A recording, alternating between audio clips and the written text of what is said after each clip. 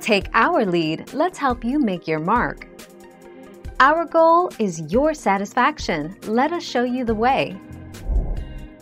Slime chunks Slimes spawn throughout the world except Mushroom Islands below layer 40 regardless of light level, but only in certain chunks, 1 in 10 of all chunks.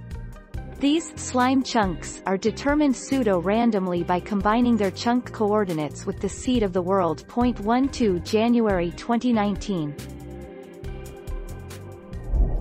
Thank you for watching. Please subscribe and hit the bell notification.